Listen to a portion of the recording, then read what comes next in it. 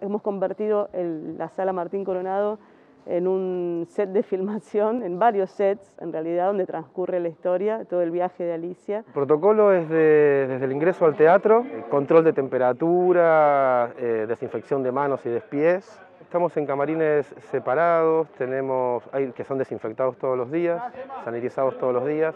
Es la historia de un grupo de actores, un elenco que llega al teatro a ensayar, es su primer ensayo, y una de las actrices se convierte en una marioneta y el mundo de las marionetas y el mundo de los actores conviven en forma simultánea. Esta es una idea, es un proyecto pensado especialmente para este, este soporte fílmico. Cultura en Casa tiene hoy ya más de 8 millones de visualizaciones. 8 millones, ¿Sí? tremendo, un éxito tremendo. Pero por eso, y gran parte de eso es el complejo teatral.